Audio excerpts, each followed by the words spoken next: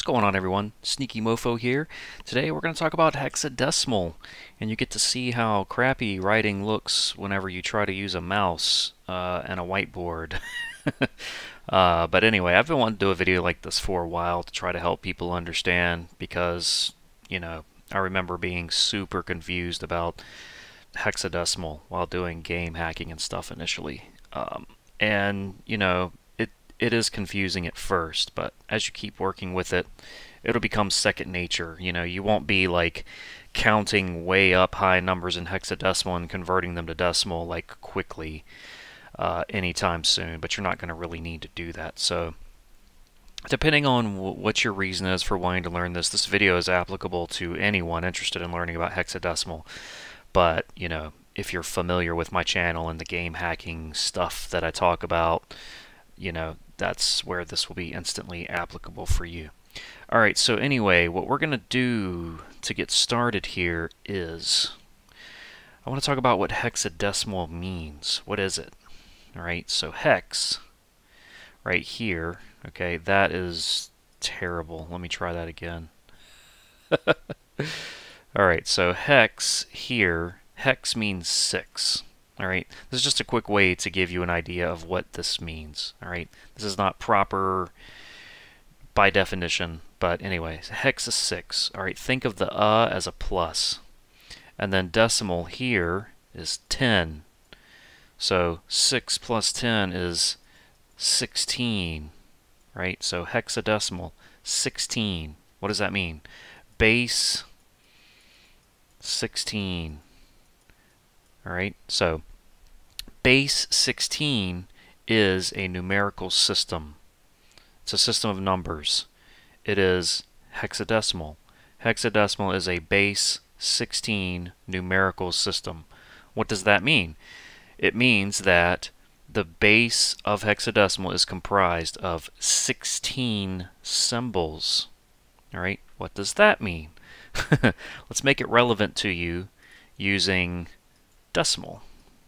I'm just going to kind of rush through here with the writing and not worry about it being neat. But decimal. Decimal is a base 10 system. All right, so you've got 0 through 9, right? 0, 1, 2, 3, 4, 5, 6, 7, 8, 9.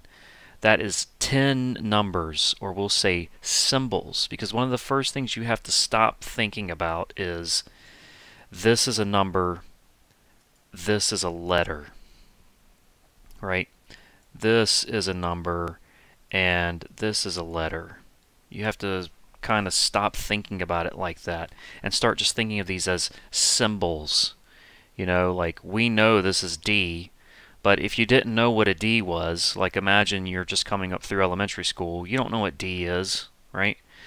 You had to learn that. You had to learn what this symbol, this line with this half circle, what does that symbol mean, right? So start think when I say symbol, that's what I mean. It's the thing that you know as a number or a letter. Both are symbols. They're things you draw, right? Um, all right, so with that out of the way, let me erase this here. So decimal is base 10. It has 10 symbols to represent anything that you want to write within that system, right? So if we want to write the number 572, right? 5 is one of the numbers out of the base 10. The 10 numbers that are comprised of the base of this system, right? We have any one of those 10 numbers to use or symbols to use. So 500, I don't remember what number I said a little bit ago, 582 maybe, right? So we used 5, we used 8, we used 2. Each of these are individual symbols in this base 10 system. All right, so let's let's look at uh, binary really quick. Binary, you know binary, it's 10010101011 whatever, right? Binary is base 2. Base 2, meaning anything that you want to use to represent uh, a number or something using binary, you only have two things that you can use, 0 and 1. Base 2. So if we wanted to make a huge number, you know, all we have is this to work with. Zero, zero, one, zero, right? Just forever. That Those are the only numbers you could use. So the way binary works, if you wanted to, you know, write out 582 in binary, it would use a lot more symbols. You'd be using a lot more numbers as you're used to seeing them, right? To represent this. So if you want to tell someone, hey, I want 582 eggs, right? We walk around using decimal. That's just what we've done as a society, right? With hexadecimal, we use that as a way to more easily represent binary values. And don't worry about what that means at the moment. I'm just kind of talking about things as they sort of come up in mind, all right? So, knowing that binary is base 2, meaning that there's two numbers that we will ever use to represent something in binary, and decimal is base 10, meaning 0 through 9. That's 10 symbols that we'll ever use to represent any value as a decimal number. Hexadecimal is 16. It's base 16. So, you know, what does that mean? Okay, well, you've probably seen these before. So 0, 1, 2, 3, 4. So 0 through 9 is going to be exactly the same. 7, 8, 9.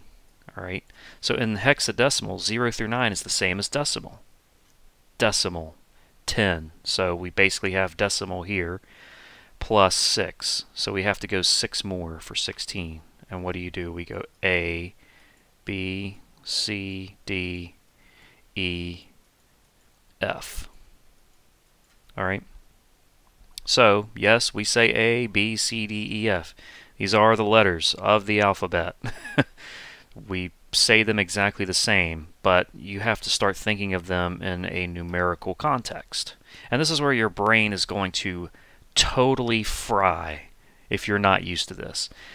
I it took me a, a months of working with this stuff. You know, I wasn't working with it every day, but off and on to, to really start understanding where my brain was trying to think of a number in decimal versus hexadecimal. All right, so just to show you where your brain is going to really fry, 0 through 9 is the same as, as decimal, right? So if I have 9 in hex, that's going to equal 9 in decimal this is what your brain's going to want to do. You're going to want to take a hexadecimal number and convert it to decimal so you can think of it like that.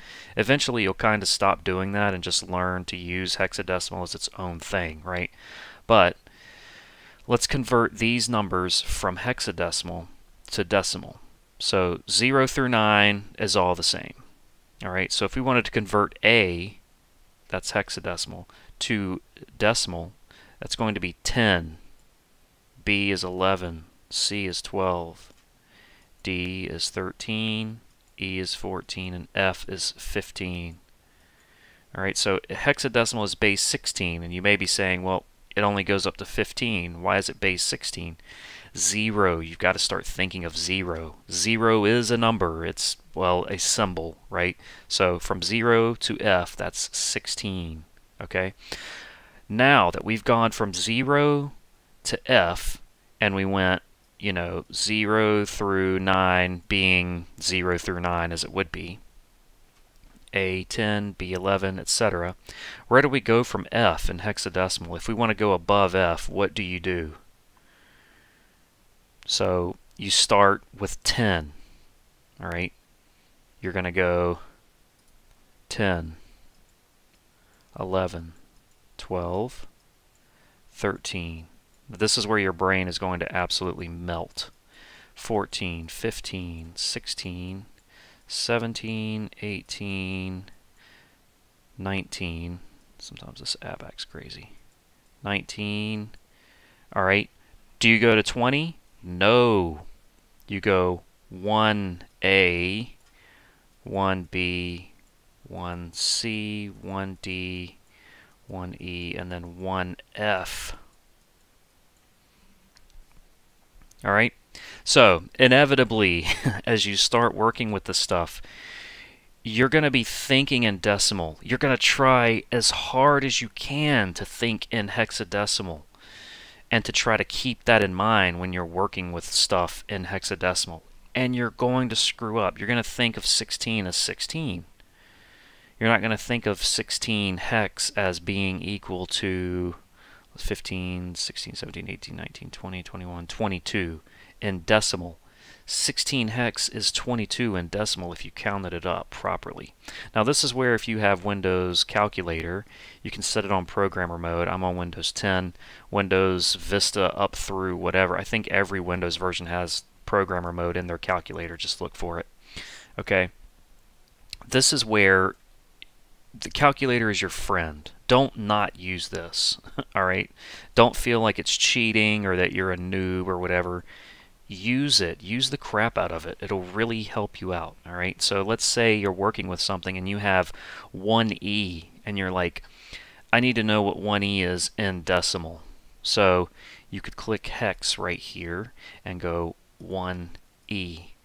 And you can see right here it populates that as 30 in decimal. Okay. Now, if we had said, I want 30 eggs, but you told someone that in binary, you would say, I need uh, 0, 0, 0, 1, 1, 1, 1, 0 eggs. You're not going to do that, you know?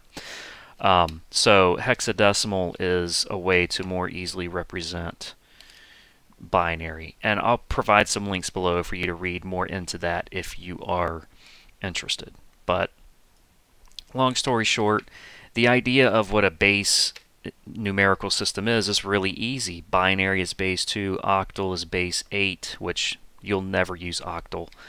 Uh, if you ever do use octal, you're probably a computer science student or something like that. Very rarely would you ever need to use octal. Decimal, that's like every day hexadecimal. You know, decimal is base 10, hexadecimal is base 16. All right, so I know it seems like I'm drilling that point home, but this is presumably for people who are kind of beginners with this stuff and don't quite understand it.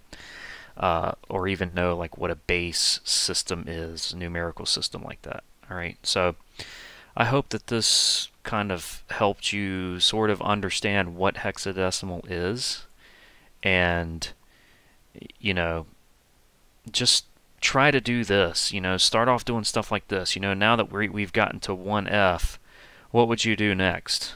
How would you go above 1F? You know, well, you would go 2, 0, right? 2, 1, 2, 2, just like you would in decimal, right? Except you have these extra symbols to start tacking on with everything. It's going to take you a while for your brain to flip over into thinking pretty quickly about going from 1F to 20 or you know, or from 29 to 2A and 2B. You know what I mean? That'll take you a while to get used to doing that. That's the most awesome B you've ever seen in your life. anyway, all right. So um, feel free to ask some questions in the comments. Um, and I'll try to get to them or at least try to provide you with some resources. Uh, make sure you check the video description too because I'll have some additional links for you there with some resources. But uh, anyway, thanks for watching. Give me a thumbs up if you found it useful. Don't forget to subscribe and check out my game tutorials, my cheat engine tutorials, uh, where I talk a lot about this stuff and you can really put it into practice there. Alright, thanks so much for watching. I'll see you guys in the next video. Take care.